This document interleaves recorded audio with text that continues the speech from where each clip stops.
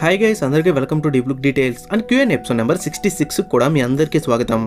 ముందుగా question number one Peter Quill Guardians of the Galaxy volume three మూవీలో ఎందుకు తన హెల్మెట్ని యూజ్ చేయలేదు? Peter Quill AKA Star Lord Guardians of the Galaxy volume one and టూలో నానోటెక్తో కూడిన హెల్మెట్ని వాడతాడు. బట్ వాల్యూమ్ త్రీ మూవీలో ఫస్ట్ నుంచి కూడా పీటర్ క్విల్ హెల్మెట్ని అయితే యూజ్ చేయడు గైస్ దీనికి గల మెయిన్ రీజన్ ఒక్కటే.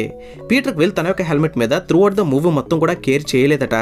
ఈ విషయాన్ని నేను చెప్పడం లేదు. డైరెక్ట్గా జేమ్స్ గన్నే అఫీషియల్గా ట్విట్టర్లో కన్ఫర్మ్ చేశారు. యాక్చువల్గా పీటర్ విల్ హెల్మెట్ అనేది వాల్యూమ్ త్రీ మూవీలో కూడా పీటర్ దగ్గర ఉందంట. బట్ పీటర్ ఆ హెల్మెట్ని నోవర్లో తన హోమ్లోనే ఒక డెస్క్లో పెట్టాడు. Also Peter throughout the movie మొత్తం కూడా రాకెట్ని కాపాడే ప్రయత్నంలో ఉండడం వలన తన యాక్సెసరీస్ గురించి అలాగే ఎక్విప్మెంట్ గురించి సరిగ్గా ఆలోచించలేదట. జేమ్స్ గన్ ఇలా చెప్పగానే నాకు చాలా ఫన్నీగా అనిపించింది గైస్. ఎందుకంటే ఈ ఆన్సర్ అనేది లాజిక్లెస్గా ఉంది. ఆల్సో జేమ్స్ గన్ నుంచి ఈ ఆన్సర్ విన్నాక ఫ్యాన్స్ బుర్ర బ్లాస్ట్ అయిపోయింది. అసలు ఈ మధ్య జేమ్స్ గన్ ఇస్తున్న సమాధానాలు అస్సలు కన్విన్సింగ్గా ఉండట్లేదు మొన్నటిగా మొన్న గ్రూప్తో మనం ట్రావెల్ చేయడం వల్ల తన లాంగ్వేజ్ మొత్తం మనకు అర్థమైపోయింది అన్నారు. ఈ ట్వీట్ని మార్వల్ ఫ్యాన్స్ అందరూ కూడా అస్సలు యాక్సెప్ట్ చేయలేదు. పైగా జేమ్స్ గన్ ట్రోల్ చేశారు.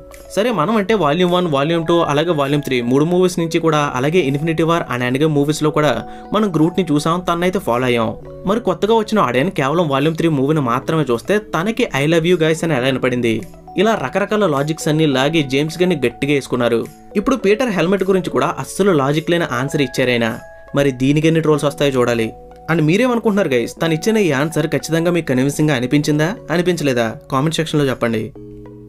క్వశ్చన్ నెంబర్ టూ మైల్స్కి మాత్రమే స్పైడర్ మ్యాన్ పవర్స్తో పాటు బయో ఎలక్ట్రిక్ పవర్స్ ఎందుకున్నాయి? అలాగే తను ఇన్విజిబుల్గా ఎందుకు మారగలుగుతున్నాడు? అసలు తనకి ఎక్స్ట్రా పవర్స్ రావడానికి కారణం ఏంటి? ఎవ్రీ స్పైడర్ మ్యాన్కి కూడా మ్యాక్సిమం సిమిలర్ పవర్సే ఉంటాయి. Like super human speed strength agility stamina spidey sense ఇలా.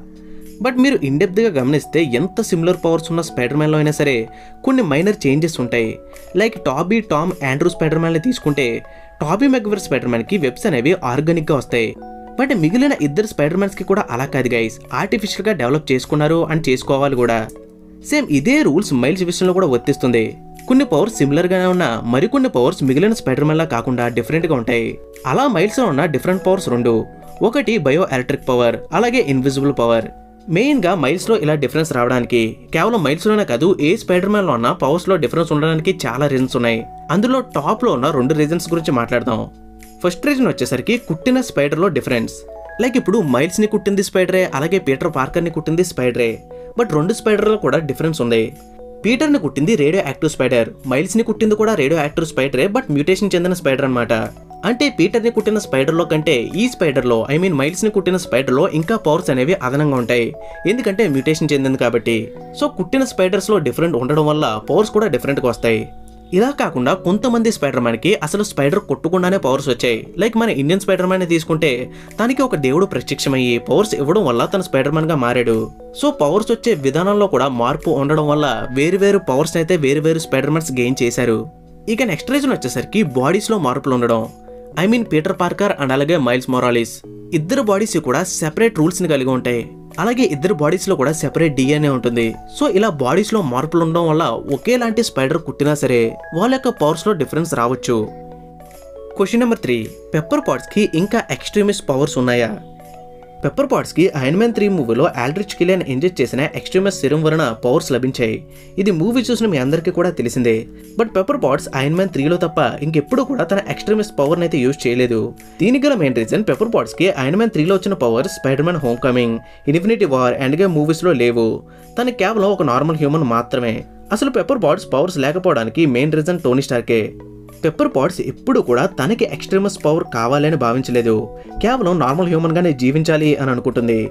ఇదే విషయం ఐరన్ మ్యాన్ త్రీలో కూడా తన మెన్షన్ చేస్తుంది గైస్ మన టోనీ స్టార్ కూడా ఐరన్ మ్యాన్ త్రీ మూవీ యొక్క క్లైమాక్స్లో ఎంత కష్టమైనా సరే నేను ఎక్స్ట్రీమస్ సిరమ్కి యాంటీడోట్ని కనిపెడతాను అని చెప్తాడు. సో దీని ప్రకారం చూసుకుంటే మేబీ ఐరన్ మ్యాన్ తన రీసెర్చ్ అండ్ ఇంటెలిజెన్స్ని యూజ్ చేసి యాంటీడోట్ని డెవలప్ చేసి పెప్పర్కి అయితే ఇంజెక్ట్ చేసి ఉండొచ్చు. తద్వారా ఎక్స్ట్రీమస్ సిరం ద్వారా వచ్చిన పవర్స్ అనేవి టోనీ ఇచ్చిన యాంటీడోట్ ద్వారా పోయిండొచ్చు.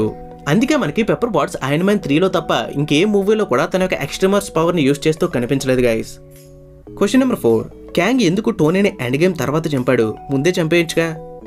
యాక్చువల్గా మార్వల్ ఫ్యాన్స్ అందరికి కూడా ఈ విషయం తెలిసే ఉంటుంది. ఈ మధ్య ఇంటర్నెట్లో ఒక థియరీ చాలా బాగా వైరల్ అవుతుంది గైస్ టోనీ యొక్క ఇంటెలిజెన్స్ను మరియు తెలివితేటల్ని చూసి ఎప్పటికన్నా టోనీతో ప్రమాదం అని గ్రహించి క్యాంగే టోనీ చనిపోయే విధంగా టైం లైన్ని డిజైన్ చేశాడు అని చెప్పేసి ఒక థియరీ నడుస్తుంది. అండ్ ఈ థీరీకి ఫ్యాన్స్ అంతా కూడా బాగా అట్రాక్ట్ అవుతున్నారు. అండ్ ఈ థీరీ కూడా కన్విన్సింగ్గా ఉంది గైస్ ఈ థీరీ గురించి మార్వల్ వాళ్ళు ఎలాంటి అఫీషియల్ కన్ఫర్మేషన్ కూడా ఇవ్వలేదు అండ్ రెస్పాండ్ అవ్వలేదు.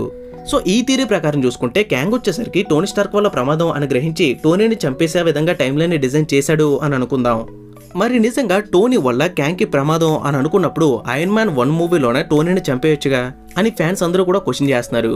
దీనికి కూడా ఇంటర్నెట్లో ఒక థీరీ అయితే మేజర్గా వైరల్ అవుతుంది గైస్ యాక్చువల్గా టోనీ వల్ల క్యాంక్కి ప్రమాదం ఉన్నది అన్నది నిజం. బట్ క్యాంక్కి టోనీతో కూడా అవసరం ఉంది గైస్. ఆ అవసరం పేరే టైం ట్రావెల్ జీపీఎస్. మీరందరూ గమనించినట్లయితే టోనీ తన జీవితకాలం మొత్తంలో చాలా కొత్త రకాల టెక్నాలజీస్ డెవలప్ చేశాడు.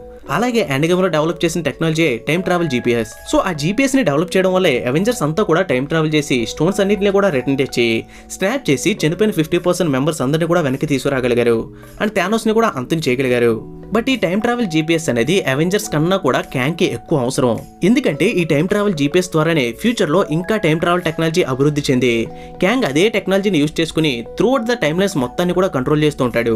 స్టోనీ గనక ఆ టైం ట్రావెల్ జీపీఎస్ని కనిపెట్టలేనట్లయితే ఫ్యూచర్లో టైం ట్రావెల్ టెక్నాలజీ అనేది అసలు అభివృద్ధి చెందదు. సో అలాంటప్పుడు క్యాంగ్ వచ్చేసరికి ఫ్యూచర్లో ఆ టెక్నాలజీని ఎలా యూజ్ చేస్తాడు? సో అందుకే టోనీని ఎండ్ గేమ్ ఈవెంట్ వరకు కూడా బతికేలా చేసి టైం ట్రావెల్ జీపీఎస్ కనిపెట్టిన తర్వాత అదే ఈవెంట్లో చనిపోయేలా చేశాడు క్యాంగ్ సో ఇది కేవలం థీరీ మాత్రమే గైస్. మార్ల వాళ్ళు అఫీషియల్గా కన్ఫర్మ్ చేసేంత వరకు కూడా నేను చెప్పిన థీరీ కానీ అలాగే నేను చెప్పిన ఆన్సర్ కానీ ఏది కూడా కరెక్ట్ కాదు. సో అదైతే దృష్టిలో పెట్టుకోండి. ఇక ఈ వీడియోకి అయితే ఇంతే గైస్ ఈ వీడియో కనుక మీకు నచ్చినట్లయితే తప్పనిసరిగా వీడియోని లైక్ చేసి వీడియో గురించి కామెంట్ బాక్స్లో రియాక్ట్ అవ్వండి. అలాగే మన ఛానల్ అయితే సబ్స్క్రైబ్ చేసుకోండి guys thank you for watching